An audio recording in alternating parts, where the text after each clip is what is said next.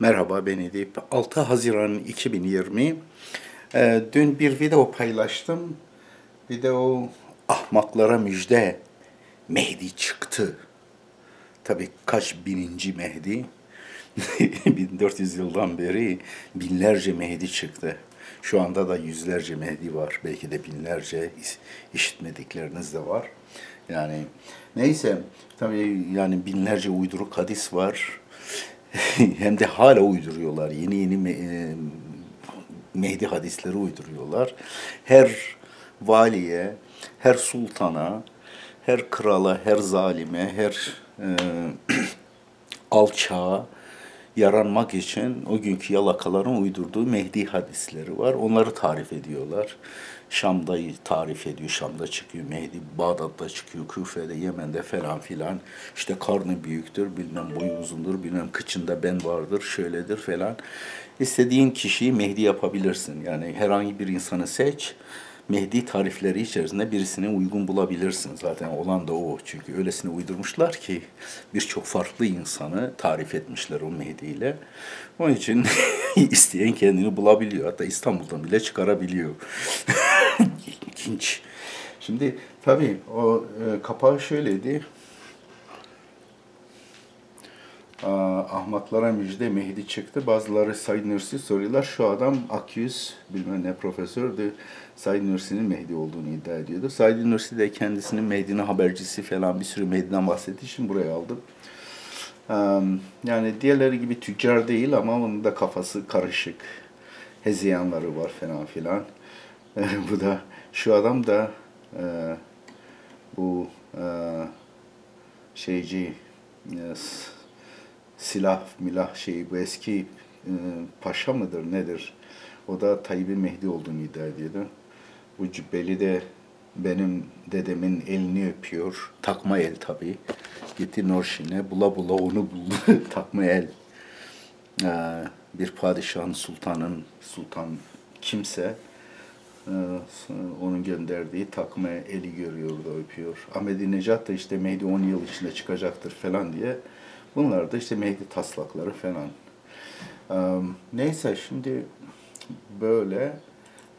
Şunun altına tabii ki yazdılar. Bakıyorum ki bir sürü hamaklara müjde Mehdi çıktı.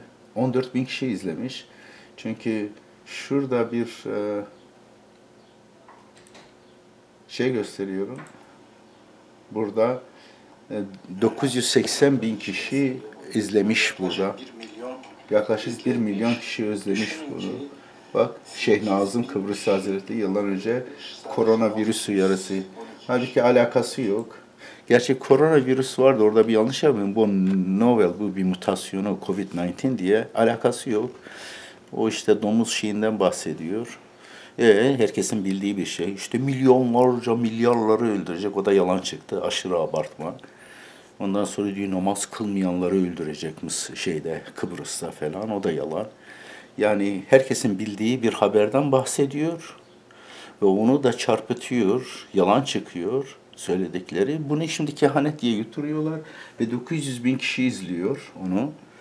Ee, sadece 8 bin kişisi de şey e, beğeniyor. Yani beğenmeyenlerin sayısı çok daha az. Orana bak. 612 kişi. Yani böylesine rezalet bir şey. Şimdi altına tabii ki şunlar e, bir sürü böyle şeyler oldu. Yani yazılar. Mesela birisi bana bunu yazdı. Ben de böyle cevaplar verdim. Okay. Neyse şimdi e, orada bir yerde şey dedim. Ya bunun papayı şey dedim, papadan yardım istediğini falan. Burada gelip bana saldırıyorlar beyinsizler.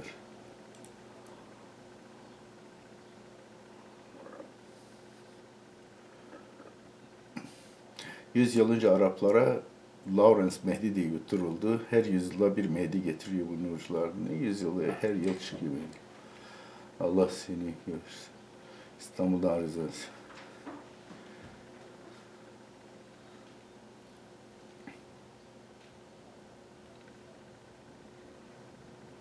Neyse.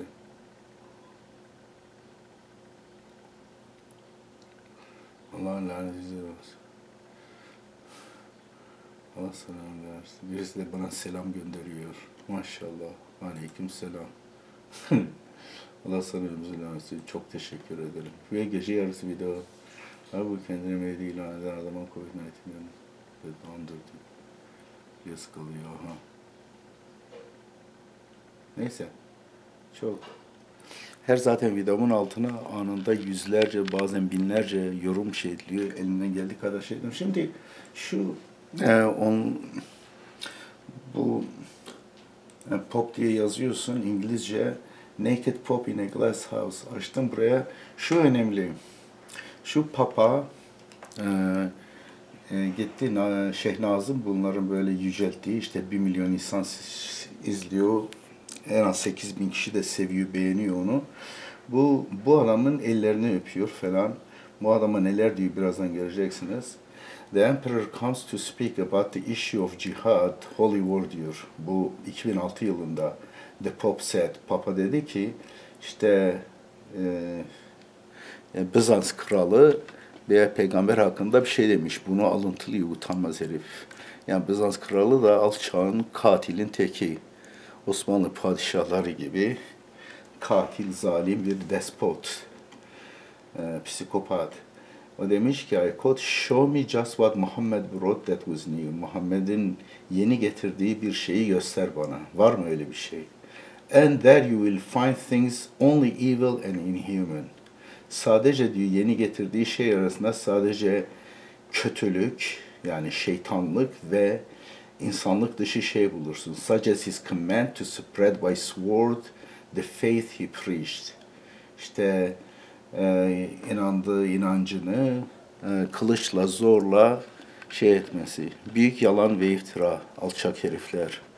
Bu e, Haçlı seferleri düzenleyenler, endülijanslarla bilmem witch hunt, cadı avıyla insanları şey edenler, Engizisyon mahkemeleriyle, işkenceyle bilim adamlarını tehdit edenler, katledenler, bu zalimler utanmadan bu yalan şey diyor. Bak Muhammed peygamber daha hayattayken Çin'de mescid açılıyor.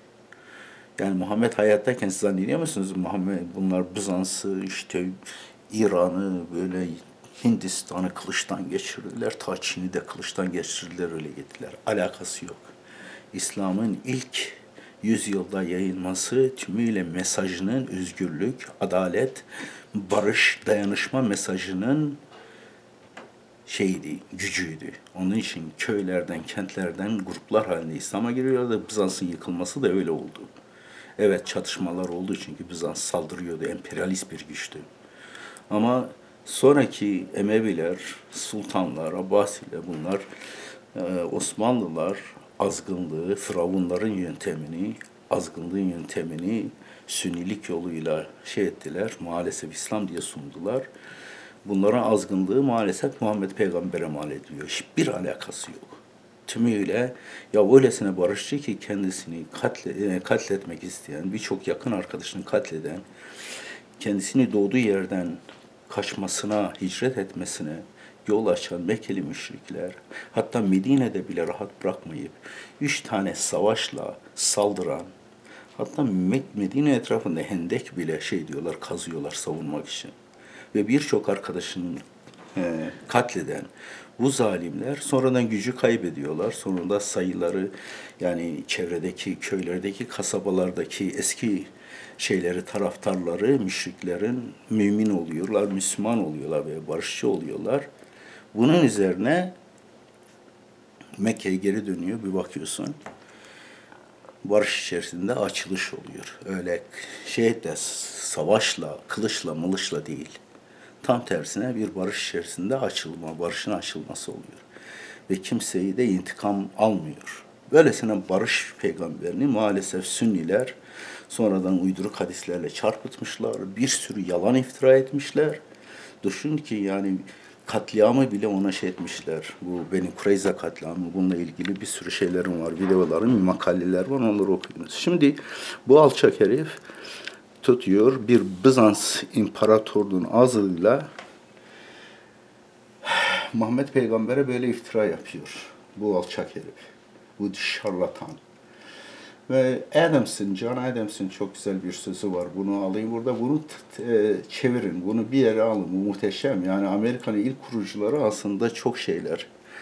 E, yani Hristiyanlığa karşılar, muvahitler, tek tanrıcılar. Yani Jefferson'dan tut John Adams'e kadar. Bunlar alabildiğine şeyler, e, tek tanrıcılar, işlemeye karşıdırlar, kiliseye karşıdırlar. Amerika'nın birçok kurucusu Unitarian Universalist, deist veya da monoteisttir. Bak bu burada şunu ben bunu şey etmiyorum. Burada bu adamın o konuşmasını eleştiriyorum, cevap veriyorum bu papanın. Ee, bu Türkçe'ye de çevrildi. Ee, Hristiyanlara 19 Soru adlı kitabında, ha burada. 13 Questions for Pope or Mr. Ratzinger on Violence and Peace. E, Papa'ya 13 soru e, barış ve şiddet üzerine 13 soru diye bu Hristiyanlara 19 soru adlı kitabının ikinci baskısından itibaren orada bulabilirsiniz. İngilizce'de de var. 19 Questions for Christians. Çok güzel bir mektup. Ve hatta bunu Vatikan'ın şeylerinde, enstitülerinde yasaklandığı web sitem bundan dolayı. Hatta Amerika'da e, bir Katolik üniversitesi var. University of San Diego sanıyorum. San Diego'da bir üniversite e, özel bir üniversite, Katolik Üniversitesi yasaklanmıştı. Bir öğrencim oradan bana telefon etti. Benim siteye girmek istemişti. Neyse bunu buraya girersiniz. 19.org sitesinde bulabilirsiniz. Çok güzel bir sorular şeyi var. Bunu durdurup da okuyabilirsiniz. Tabii girebilirsiniz. Çok hızlı gittim. Uzun bir yazı. Harika bir makale. Sonraki papaya da yazdım aynısı. Şimdi bu adama bakalım. Önce Tayyip'e bakalım.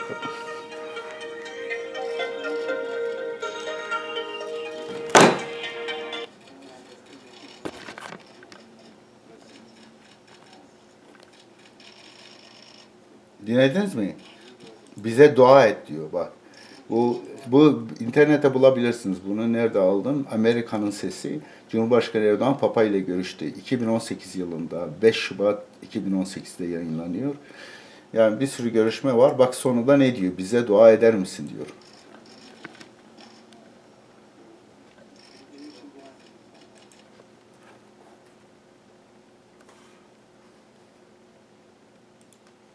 Okey.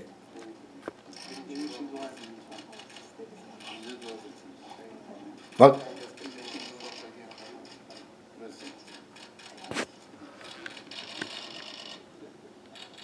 Görüyor musun? Dua etmekten bahsediyor. Dua etmek. Ne demek dua etmek? Kim kime dua ediyor? Günah çıkarır gibi papaya diyor ki bana dua et. Papa İsa'ya dua eder. Senin Hristiyan olman için dua eder. Bir mümin papaydan dua beklemez. Ha papayla görüşür müsün maşallah. Barış için herkesle görüş. Papayla, Dalai Lama'yla, herhangi bir ülkenin cumhurbaşkanı ile hatta bizim buradaki alçak faşist Trump ile görüş. Yeter ki onurunu şey etmesin, sana ahmaklık etme dediği vakit ona karşı bir cevabın olsun. Ve da Hollywood'un aktörlerin en kolay, Hollywood'un en kolay aktörlerin seti gibidir dediği vakit orada bir şey çıkar. Bir cevap ver. Ama e, yani istediğinle görüş, barış için herkesle dünyada görüşebilirsin. Putin'le görüş, kiminle görüşürsen görüş. Hatta git e, şeylerin terör gruplarının liderleriyle de görüş. Barış için gerekirse herkesle görüş. Barış önemlidir. Ancak burada gidiyorsun papaya söylemeyeceğin tek şey söylüyorsun. Söylemeyeceğin şey. Yap.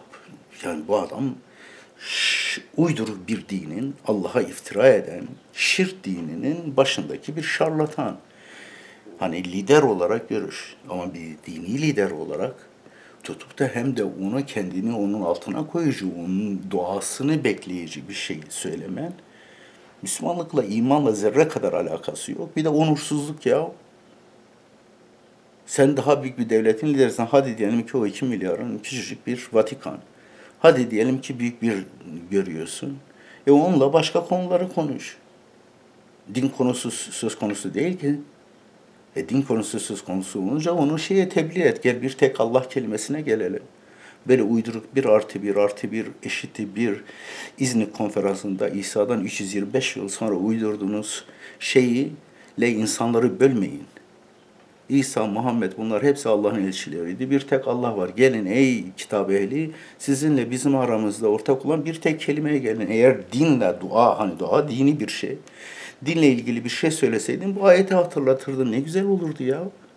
Ama gel bana dua et diyor. Bize dua et diyor. Ve bu da dua ederim diyor. Bitti. Onur yok. İman sıfır.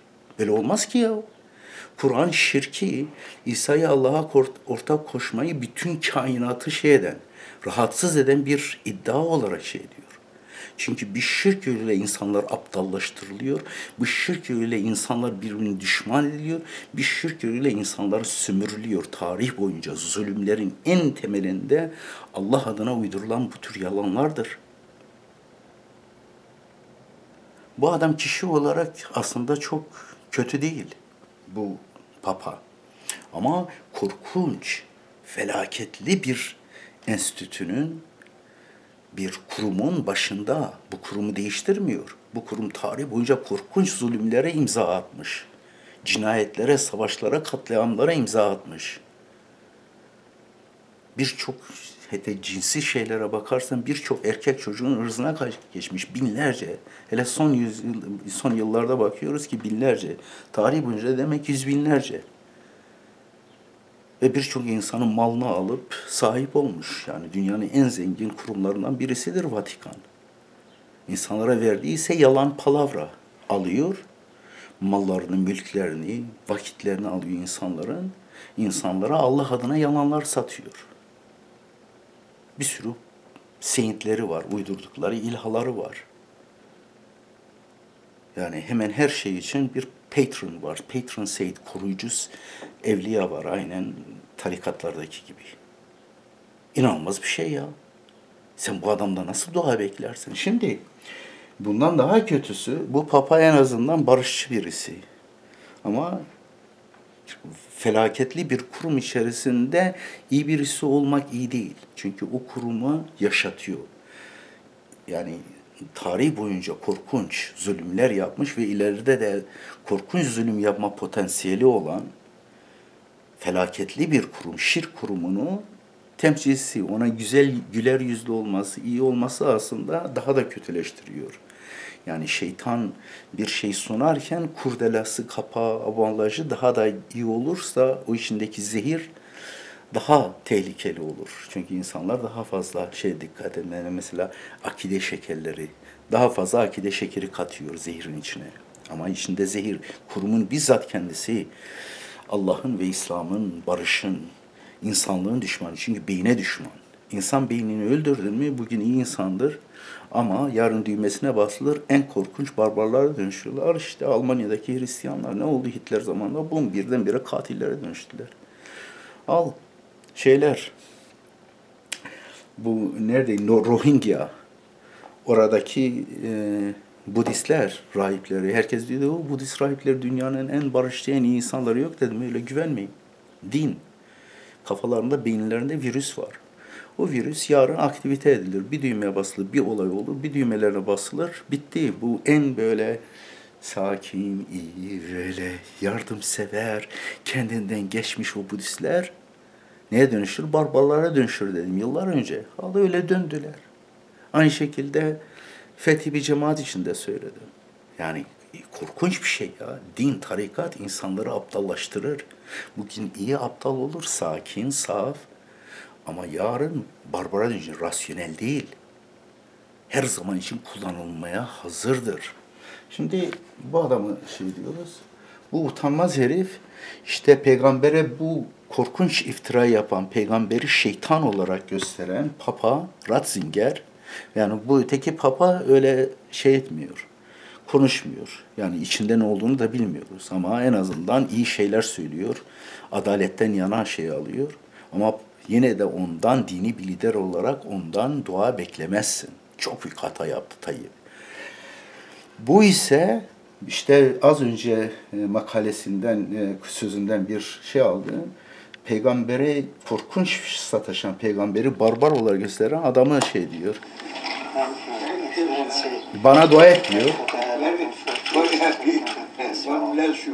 God bless you. Tanrı seni mübarek kılsın. Oh pray for me. Bak bana dua et. Pray for me. I am so old one. Ben yaşlıyım diyor. Öteki diyor ben de yaşlıyım. Gülüşüyorlar ama pray for me diyor. Bana dua et diyor. God bless you. Tanmaz herif. Onursuz. Onunla görüşebilmek için gitti. Onun yolunu kesti. Birkaç dakika ona yaranma, yalakalık yapmak için alçak herif. Aşağı. Maşallah. Yeah, maşallah diyor. Peygamberin düşmanı, İslam'ın düşmanı. Yeah. Good one. Good one diyor. iyi birisi diyor. iyi birisi diyor. Ve bu utanmaz herifi evliya biliyorlar. Keramet, meramet falan şey diyorlar. Ya bu adam onursuzun teki ya. Hani papayla gidip görüşse dünya barışı için konuşsa eyvallah no problem iyi bir şey. Ben de yaparım eğer öyle imkan olsa.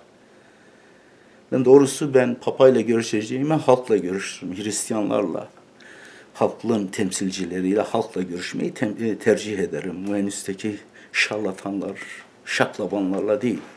Ama gerekirse onlarla barış için görüşülür elbette. Bunun alakası yok. Bu sadece bir foto op için işte papayla görüştü diye. Ama gidiyor aşağılık bir şekilde bana dua et diyor. Allah seni şey mübarek kılsın. Sen diyor good one, good one. Nesi good? Müşriğin teki. E bu gidip herhangi sokakta bir adam, bir diyelim ki iş portacı, bir e, muslukçu, musluk tamircisi, bir mühendis, bir öğretmen ona saygı göstermez, onlara elini öpmez, onlara kendi elini öptürür. Onları övmez böyle. Bana dua et demez.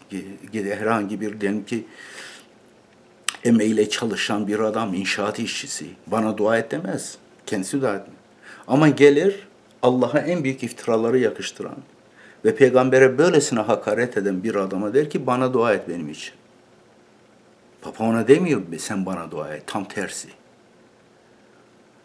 Korkunç bir şey ya. Böylesine bir aşağılık bir şey ve bunlar işte kahraman olarak gösteriliyor Türkiye'de. Bu Şeyhül Şeytan, Tayyip. Utanmaz herif ya. Gidip papadan dua istiyorsun. Ondan sonra Türkiye'ye gelip Allah'tan, peygamberden falan bahsediyorsun ha? İnanamıyorum ya. Bu ne biçimsiniz ya? Ya beyninizi kullanın ya. Reaya olmayın. Mürid, sersemit olmayın. Neyse. Ama değişiyor. Allah hamdolsun çok güzel haberler var. Yani bakmayın bu eleştirilerimize karşısında çok güzel gelişmeler var. Ve bu inşallah karanlık dönem geçecek. Bu sahtekarlar, din tüccarları, papası, papazı, e, bu şeyhi, şeyhül şeytanları, e, bu sultanlar, multanlar dönemi tarihe karış, karıştı. Karış, zaten karıştı da şu anda bir hortladılar. Ama bu hortlamayla tümüyle tarih boyunca inşallah şey olacaklar, dinozorlaşacaklar, ifşa oldular bütün pislikleriyle, rezillikleriyle. Ee, inşallah siz de e, atalarınızın dini sorgulama konusunda gereken feraseti, onuru ve cesareti gösterirsiniz. Onur ister, cesaret ister. Ee, ve inşallah e, kısa bir zamanda çok güzel değişiklikler olacak. Ben e, tabii bunun bazı ilginç işaretleri var.